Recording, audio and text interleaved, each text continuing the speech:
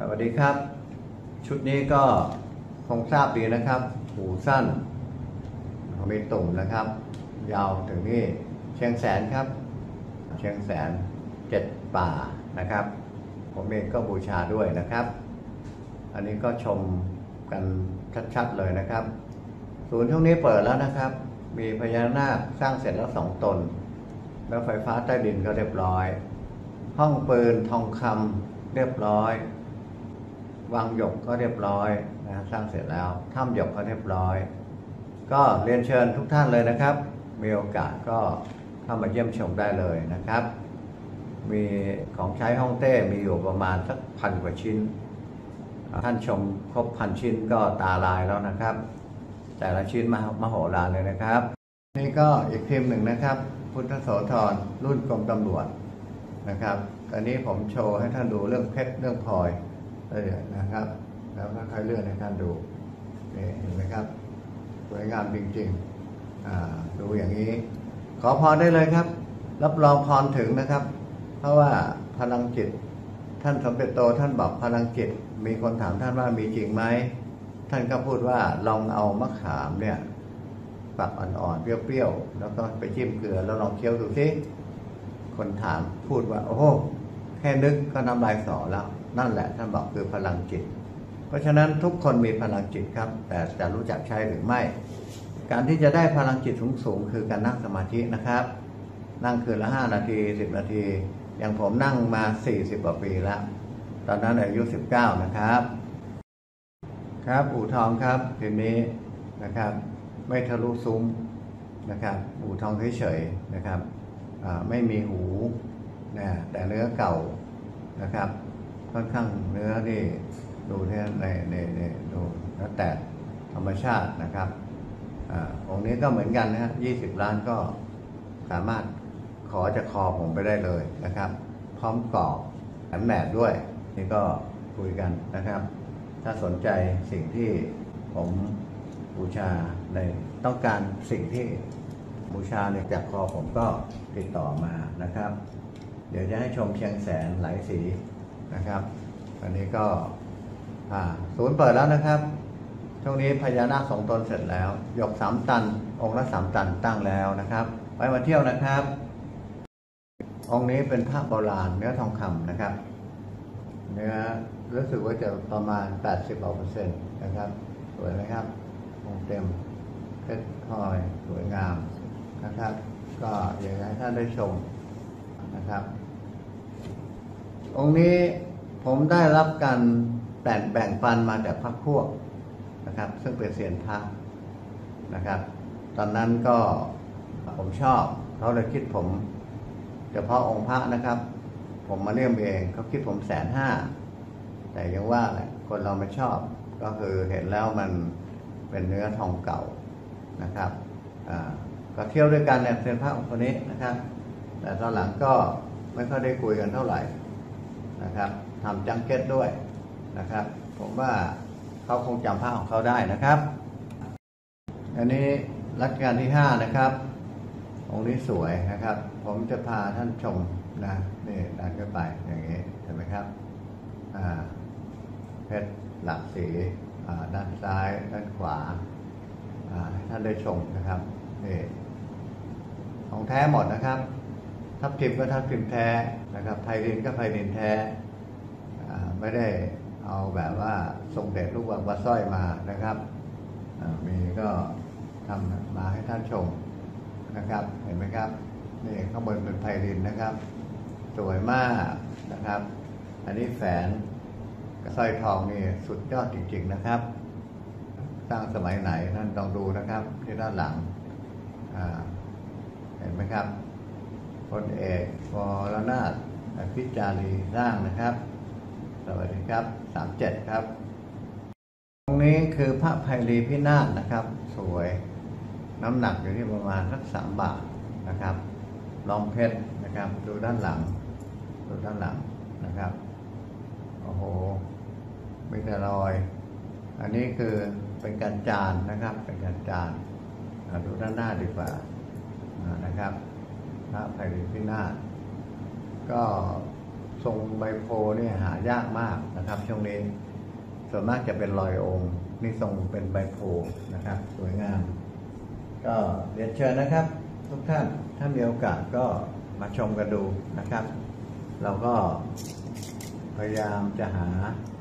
องค์สวยๆมาให้ท่านได้ดูกันนะครับ นี่ก็องค์หนึ่งครับ ที่ผมพกติดตัวตลอดหลวงปู่ทวด เนื้อสมเด็จนะครับ ก็เนื้อเกาลีนนะครับแต่เป็นเนื้อสมเด็จ ก็มวลสารชัดเจนนะครับ เก่าไม่เก่าท่านก็คิดดูแล้วกันนี่นะครับ ลองดูนะครับ ค่อนข้างโอ้โหมหกมหอมาเลยไอ้พวกตะกันตะการเกาะนะครับ ก็ผมก็พกอยู่ไม่ค่อยได้เปลี่ยนนะครับ บูชามาตั้งแต่เด็กก็เป็นพิมพ์นี้แหละครับ ราะว่าเป็นสมบัติตกทอด ผมจะพกแล้วท่านก็สร้างปฏิหารไว้ให้กับผมเยอะมาก ถ้าเล่าต้องสามวันสามคืนนะครับ วันนี้ก็มาให้ท่านดูว่าหลวงปู่ทวด เนื้อเกาหลีเนี่ย สวยขนาดไหนนี่สวยนะครับ พระพุทธชินราชเนื้อทองคำนะครับ แล้วก็ล้อมเพชรแล้วก็มีพลอยด้วยพลอยแดงอยู่ด้านซ้ายด้านขวา ก็ท่านชมดินดูนะครับ มันเป็นกระจกนะอาจจะเงาตรงนิดหนึ่งแต่ก็ยังเห็นความสวยงามที่ชัดเจน ศูนย์เราเปิดแล้วนะครับ ห้องปืนทองคำ14 กระบอกสองชุดของโลกก็เปิดแล้ว และก็ปืนรุ่นอื่นๆประมาณ 99 กระบอกนะครับ ของใช้ห้องเต้ประมาณเป็นพันชิ้นนะครับ ที่ห้องเต้ตั้งแต่ราชวงศ์หมิง ราชวงศ์ชิง และอีกหลาย พระองค์ โดยเฉพาะของเฉียนหลงห้องเต้ ชุดเก้าอี้นะครับ ยกเมทีเอลไลท์เจ็ดเนี่ย สวยงามมากเลยนะครับ มาชมนะครับ ครับแก้วครับ ที่ผมขึ้นคออยู่ อันนี้ตกทอดมาตั้งแต่หลวงวิจารณ์เจรไนยนะครับท่านลองดูนะครับทะลุซุ้มข้างบนเป็นเพชรนะครับขอบเพชรมีสองหูนะครับ ฐานสองเส้น นะครับ พิมพ์นี้ใครมีครอบครองถือว่าโชคดี ในช่วงนี้ที่คุณเอนะครับ ราคาจริงๆ องค์นี้ผมตั้งไว้แพงมากนะครับ ตั้งไว้ตั้งร้อยล้าน แต่นี้ตอนหลังมาก็ลดเหลือยี่สิบล้าน เศรษฐกิจไม่ดีก็อยากจะให้ทุกท่านได้ครอบครอง ตอนนี้ก็ลดเหลือล้านเดียว แต่คุณเอรู้สึกว่าจะให้ทำบุญถูกมากนะครับ แสนเดียว แต่ให้ไม่เกินห้าองค์ ติดต่อคุณเอดูนะครับ ไลฟ์ทุกวันศุกร์หนึ่งทุ่ม ส่วนคุณปุ้มไลฟ์ทุกวันเสาร์นะครับ นี่ก็เป็นแหนบอีกอันนะครับ ที่ผมโชว์ไปแล้วหลายอัน พระพุทธองค์ สังฆจายปิดตานะครับ ก็เป็นทองคำแท้นะครับเพชรแท้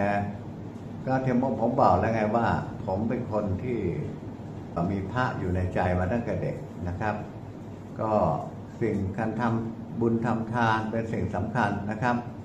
ทานเนี่ยผมทำเยอะ แต่บุญไม่ค่อยได้ทำเท่าไหร่นะครับ ช่วยเหลือสังคม เช่นลดโลกร้อน ก็อีกไม่กี่วันเนี่ย เห็นว่าเกิดพายุใหญ่ ผมเตือนมาสามสี่ปีแล้วว่าให้ระวังนะครับพายุใหญ่กำลังมา โลกร้อนน่ากลัวมากนะครับ เห็นได้ข่าวว่า 22ถึง28 นี่นะครับ มีโอกาสนะครับ สวัสดีครับ อย่าลืมนะครับคำฝันของจีนนะครับ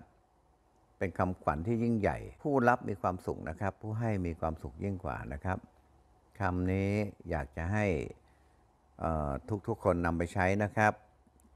ควรจะเป็นผู้ให้นะครับ ขอเรียนเชิญทุกๆทท่านที่ได้ชมคลิปของคุณไตเทพนะครับ ตอนนี้ศูนย์ก็เปิดแล้วนะครับชมเสร็จแล้วมาเที่ยวนะครับ ตอนนี้สำหรับ เกษตรกรนะครับทางเรามีโครงการนะแก้จนถาวร ภายใต้โครงการหนึ่งปีหลุดหนี้สองปีอยู่ดีสามปีมีเงินฝากนะครับทำไมถึงคำว่าแก้จนถาวร การแก้จนถาวรนี้คือต้องพวกเกษตรกรนี่ก็คือหนึ่งต้องลดต้นทุนสองเพิ่มผลผลิต ทางเราจึงสร้างเตาขึ้นมาโดยที่เราไม่จำเป็นต้องซื้อปุ๋ยเคมีมาใช้นะฮะ เตาสแตนเลสหนึ่งใบ ปุ๋ยหนึ่งกระสอบ มูลค่าหนึ่งพันบาทส่งถึงที่ทั่วไทยนะครับ